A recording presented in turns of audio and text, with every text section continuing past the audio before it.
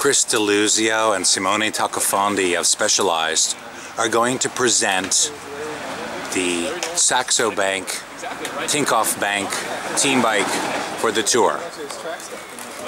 Right, so uh, this is uh, 2012 SL4 uh, on uh, Saxo Bank, uh, Tinkoff Bank delivery, uh, library. And uh, as you can see here the bike, so the frame as you said is an SL4. Uh, it's uh, assembled with our own uh, crankset.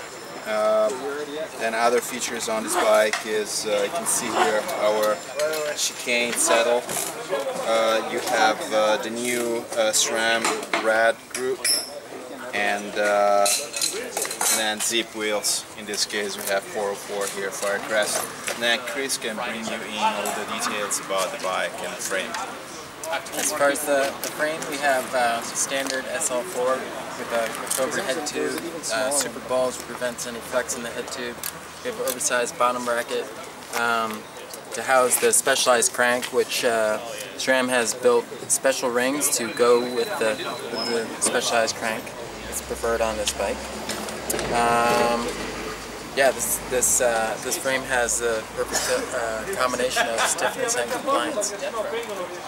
Perfect. Thank